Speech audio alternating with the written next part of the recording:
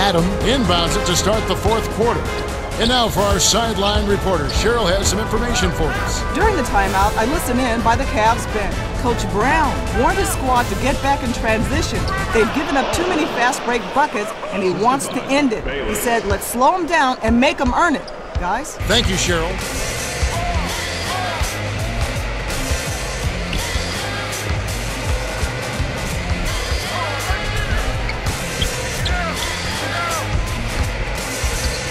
LeBron goes up, flushes it in.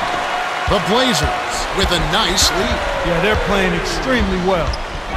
That's the way to throw it down. That's a nice jam right there. Nice job on the assist by Blake.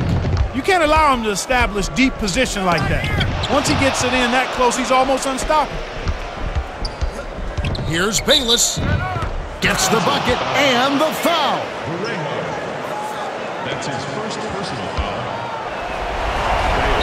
Good.